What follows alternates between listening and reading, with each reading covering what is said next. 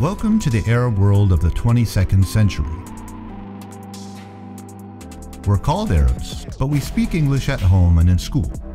Arabic, as part of our educational curricula, is taught as an elective and is considered a second language.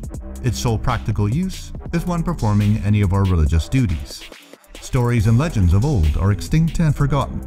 Traditions of folkloric music and dance have vanished into oblivion the value of original and contemporary Arab literature has disintegrated into irrelevance.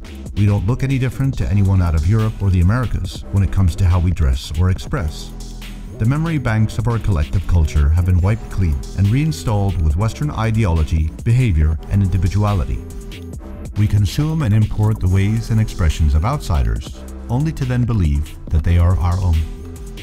An identity that was formulated and reinvented over many millennia has now been lost forever, after the elapse of a single century. Culture in Arab antiquity was never about tradition, the arts, or a reflection of what a specific society considered unique about their personal existence.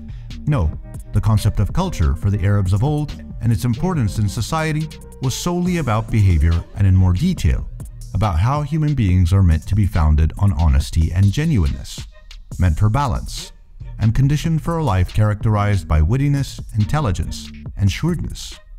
This was the true meaning of culture for the Arab world.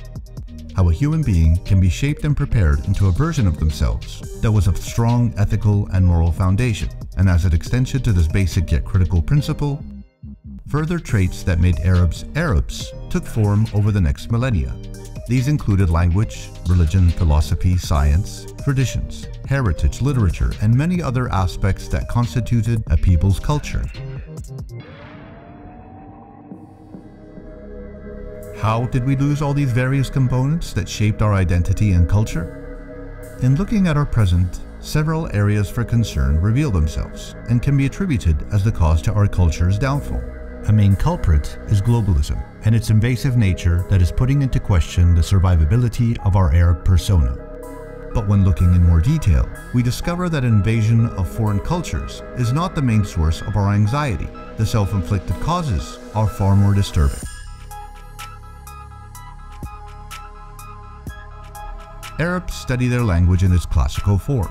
The only outlet for this form is when producing literature, processing formal correspondence, conveying the news, and when practicing the Islamic faith.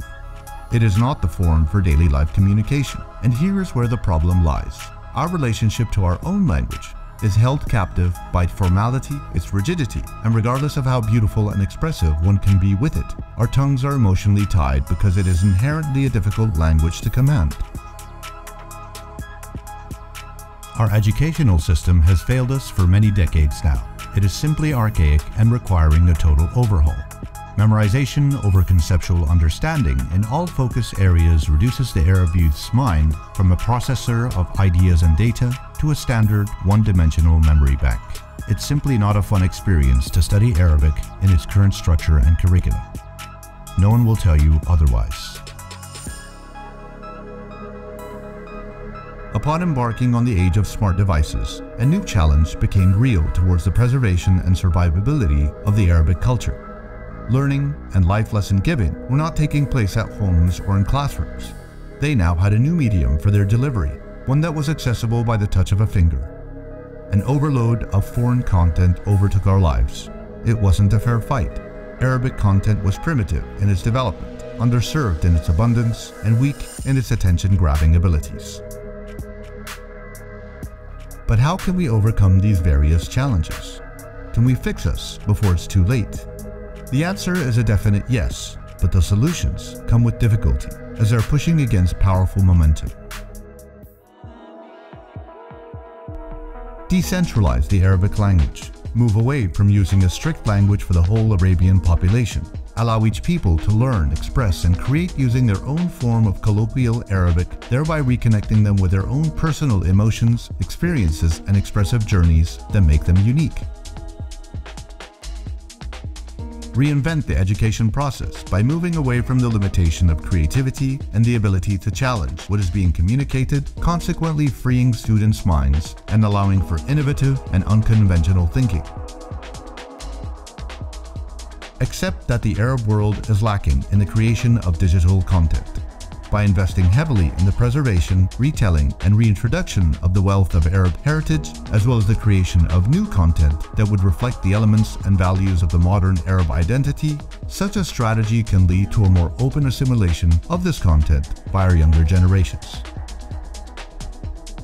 In order for us to get back on track in preserving who we are, we must evolve. Evolution would mean demanding yet necessary changes, and with it comes the avoidance of the extinction of our culture. We must introduce a new appeal that reconnects the Arab people to their identity and establish a reinvented pride towards their culture. For many centuries, the Arab culture was valued by the rest of the world. The reality now is that it is less valued by its own people, and if nothing is done to alleviate this danger, then we will be on a one-way path to becoming a sterilized version of who we once were. A civilization of humanity, a nation of pride, and a people of wisdom.